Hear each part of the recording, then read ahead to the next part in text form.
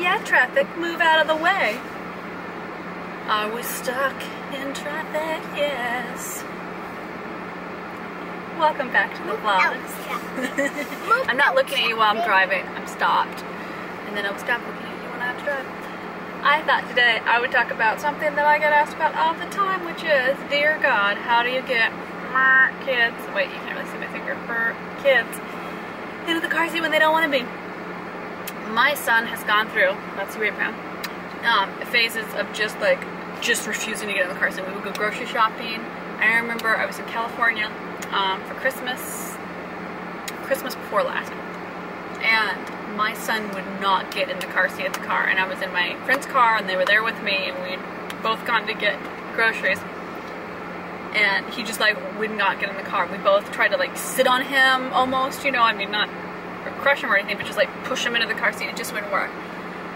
And I learned that you have to have patience. You really do. Um, there's just I learned that you just have to have patience. You really do. And that was very hard for me because I found one of my aggravation triggers. You want pancakes?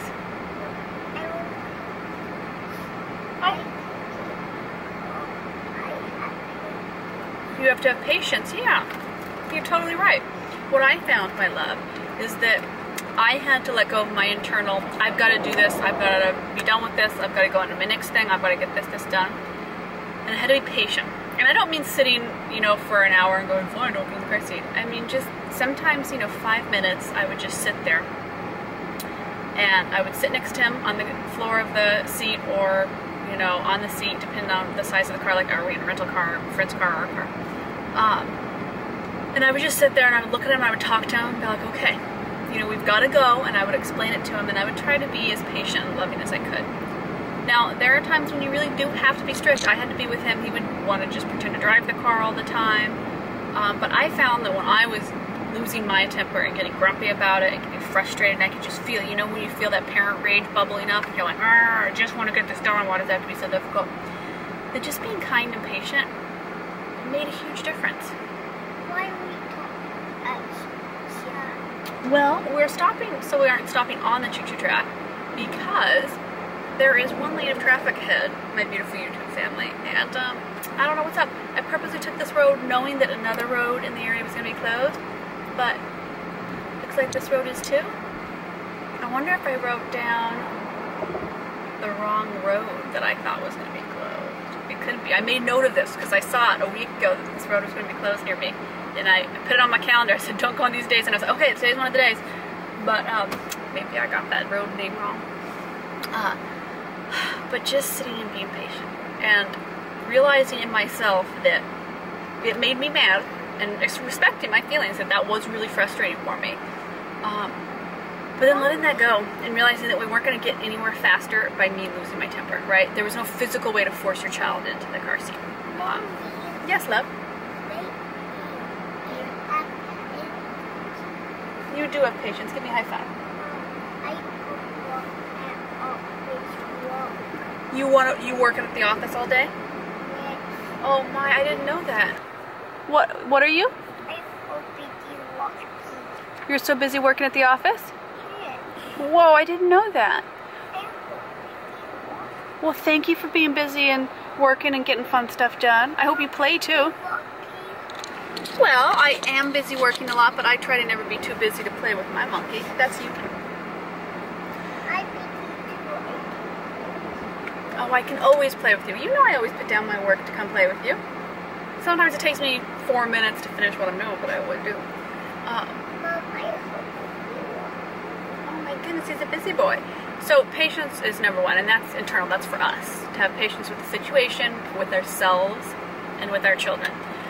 And then there are the techniques of like how do you get a kid in the car seat, right?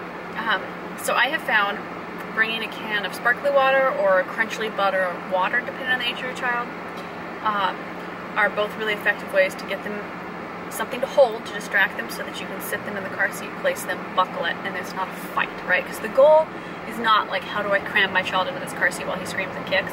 It's how do I diffuse the situation and get it to work well.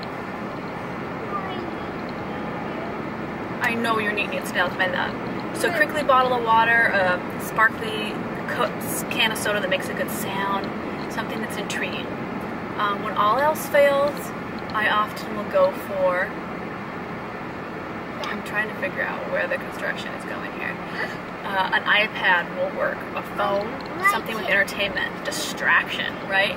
Because they aren't really upset about getting in the car seat, right? They're upset about filling up that power bucket of theirs and feeling like. Okay, I'm just checking to see. I did. I got the street with the traffic wrong. To self. Um. I know I can't turn around now. I have to wait again.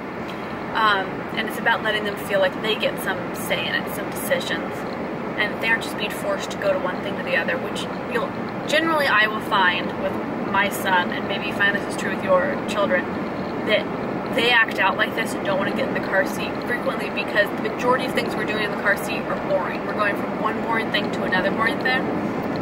Um, which then brings in, if your child's old enough to discuss, let's go to the playground. Let's do something fun. Let's make getting in the car, getting in the car seat, something that isn't always boring. Now I know you can't do that every time, right? You've got to get errands done, but that helps. That helps to have a positive association. Um, to have a fun mommy and me day or a family day out where we're doing something fun. Um, those are all small things that I have found that help diffuse the situation, that help refocus my energy and his, and that help get us in the car seat with a minimal amount of screeching and fighting. Because my first approach when I was dealing with it was just like, I'm just gonna force him in there. I'm so annoyed, just get in your car seat, why aren't you in there? And then I realized that he didn't understand that form of parenting. It didn't make me happy. It was just a negative cycle that was reinforcing itself by doing that. And so I really had to reapproach how was I parenting my son and how was I parenting myself, right?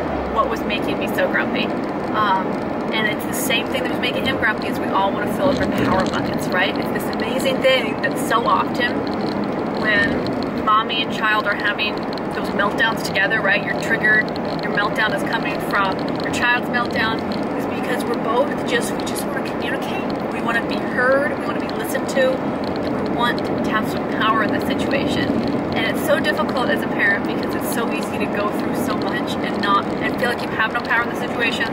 Nothing is working, it's just tantrum after tantrum, fit after fit, and children feel the same way, and that's where the tantrums are coming from. And so when you can have a little bit of empathy with your child, it often turns into empathy with yourself as well. And I think that is invaluable because, you know, we're teaching our children by our lessons and by the way we interact with ourselves as well. And I think that that's pretty important.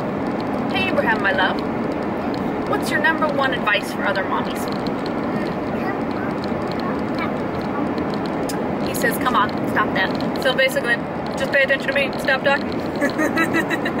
oh my god, I had a moment where I totally forgot where we were going. I was like, which way should I turn? oh, it's been a hot, toasty, warm day, which I can't complain about. It's been lovely. We went for a swim. We had a beautiful little nap. Um, have I gotten anywhere near the amount of work done today that I would like? No. Not if I'm being honest. Um, but that has been this whole summer. This whole summer so far has been really focusing on my little monkey because he's really needed an intensity of focus and love that um, is just part of this growth spurt, you know, as he's heading out of his threes, right? And he'll be four in the fall. Um, it's really been an intense summer of just like, we need play, we need activity, we need interaction, and he really needs to be seen and heard in a way that is new. You know, when you're a work from home mama without childcare, um, you just gotta get your work done when you can. And that goes in line with the car seat is you just gotta get your errands done where you can. What can we do to make it enjoyable? Like we're gonna go over, we're gonna have ice cream as part of this outing. Oh yay! Because ice cream fills our tummies with the yarmouths. I'm rubbing my tummy, but you can't see it. Popsicles, soda pop, and ice cream. Wow, Abraham's got plans. Okay, guys, we're gonna go over and help our friend empty out their fridge because they have to go to work for a long, long time. And you never turn down friends when they say, "Hey, I want to empty out my fridge? Um, I'll come eat some ice cream. Sure thing." yes, I know freezer food lasts longer, but sometimes you have to empty that ice cream. Alrighty, y'all. Thank you so much for sending in these questions, for being loving and kind in the comments. I really appreciate that. Um, feel free to check out all my links in the description box. Amazon page for my books, fiction and nonfiction. Um, and feel free to check my links. And until next time, I will see you all around. And you know, go easy on yourself. Go easy on your children. Um, there's a million different ways to parent. There's a million different ways to be a child. And it's all unique. So, you know, let me know if you would like more tips on the car seat thing. We've really struggled with that, and I have found some solutions that work. These are the main ones that I found. Yes.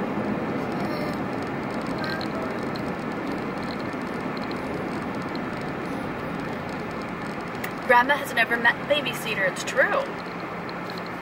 Why? Well, babysitter's mama, your auntie, doesn't like grandma because grandma was mean to her when she was a little baby. And so she holds it against her. So the lesson is we have to be kind to people or they might not want to spend time with us. That's an important lesson to toddlers and the whole sharing and not hitting thing. So until next time, thank you all so much. And it's it's nice to have summer to refocus on beautiful things about parenting. I love you all.